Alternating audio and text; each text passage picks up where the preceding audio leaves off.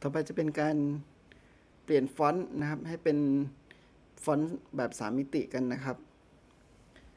วิธีทำก็คือเมื่อเรา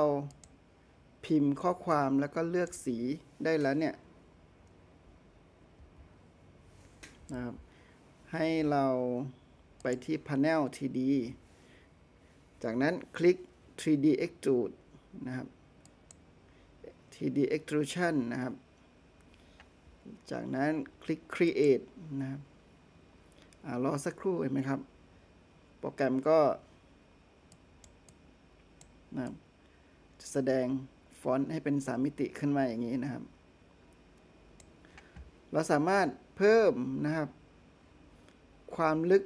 ความตื้นนะครับนะเอ็กตูดdepth นะครับตรงนี้นะครับ ค่ายิ่งมากนะครับ ความลึกก็จะยิ่งมากตามเช่นกันนะครับ สามารถมาเปลี่ยนสีฟอนต์ตรงนี้ได้นะครับ ตามต้องการตอนนะครับ